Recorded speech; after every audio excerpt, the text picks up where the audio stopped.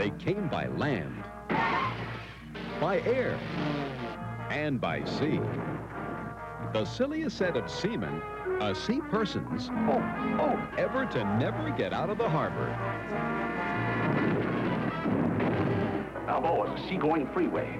Sir, that's where the stolen jewels are. Stefanie Powers, Have you bumped into anybody or spilled any drinks yet? No, Robert Morse, but the evening's still young.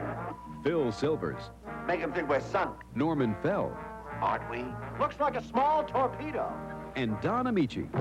It's a salami. Whether it's the good guys or the bad guys, everyone is just trying to keep their heads above water.